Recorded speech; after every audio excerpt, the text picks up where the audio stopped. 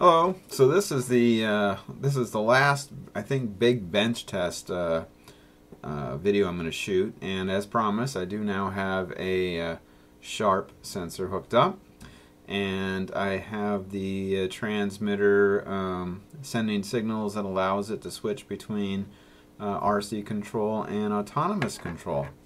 Um, so let's go on down some code over here still have all the same stuff. I threw back in a uh, variable that we can use for each and every one of the channels that the RC transmitter uh, receives. I'm sorry, RC receiver receives. I threw in a variable here that's going to store the data from the sharp. I have hooked up the sharp to pin 0 of the Teensy 3.1 so I've defined it here, set it as a constant, and the sharp pin is going to be A0. Still have the servo objects, uh, including the DC motor speed control. Um, ultimately, even though I have a few more variables here, I didn't use them all. I'm only going to be using uh, four of the channels. Uh, one channel is going to be running the RC speed controller, two channels just for novelty are going to be running two servos on this arm. And so that's going to be the speed control. That one is going to be a servo. This one's going to be servo. And this one is on this transmitter. Okay.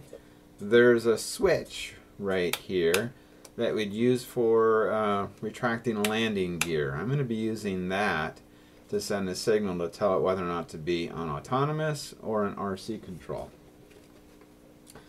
And so that's the one that's going to be hooked up to pin 8, which is this one here on my RC. I think it's actually channel 5 on the RC.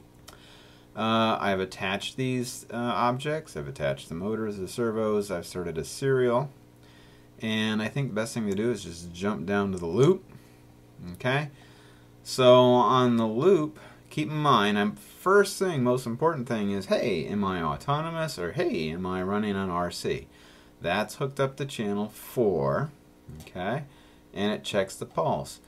If the channel is, but these retractable ones, these ones here, that hook up just for uh, uh, single function, digital ones, they uh, only send a signal that's maximum or a minimum, right? So it's either going to be like 18 or 1900 or it's going to be about 1000 or 1100.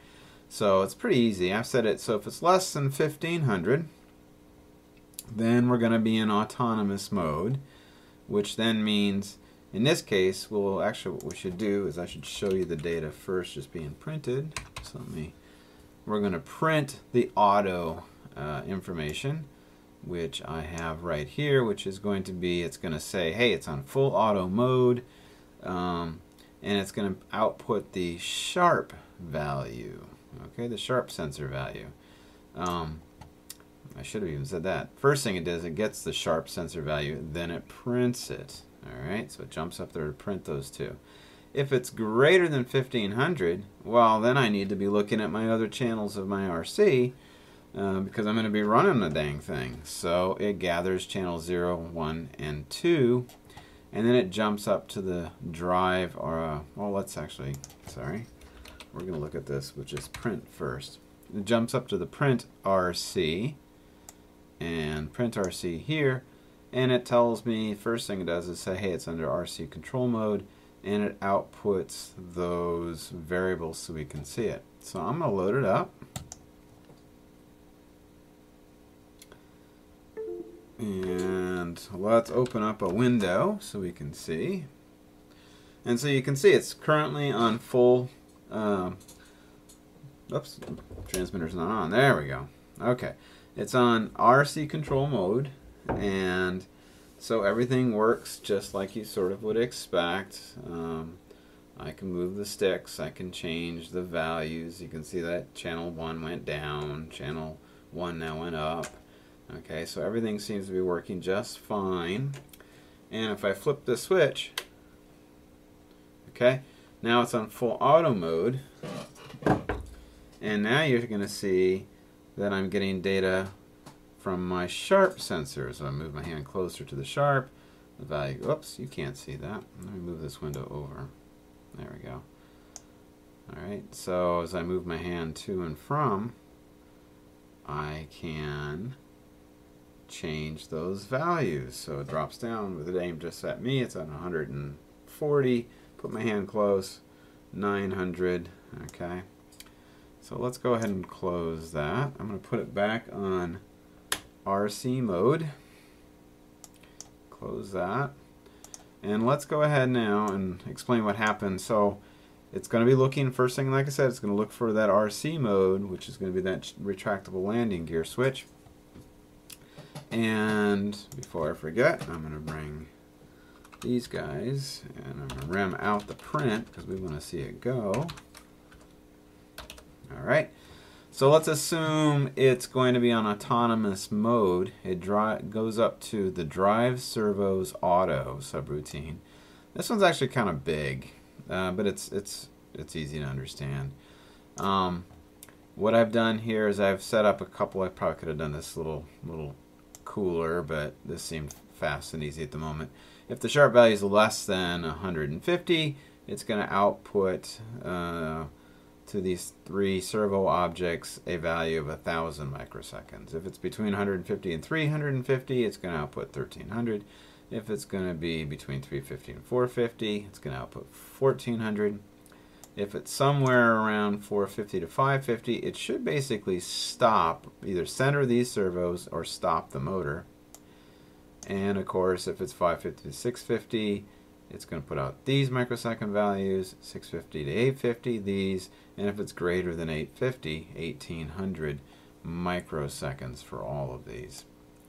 Um, if it's going to be going in RC control mode, okay, so that my channel 4 switch is greater than 1500, then it's simply going to gather the information from the other three channels and it's going to drive the servos RC subroutine which is way up here.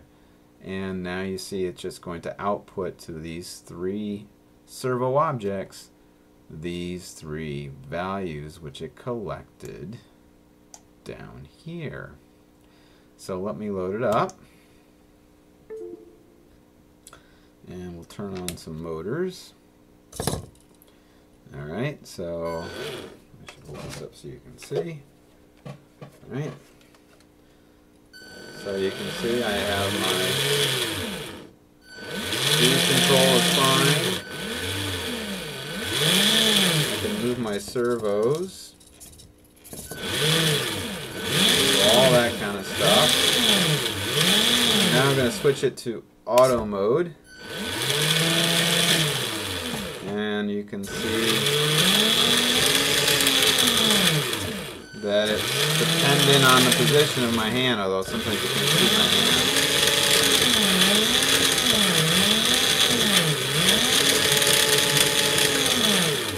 And then switch it back to RC mode. And voila, everything works. So I think I'm uh, I'm ready now on this next step to uh, put this thing uh, in the Batmobile.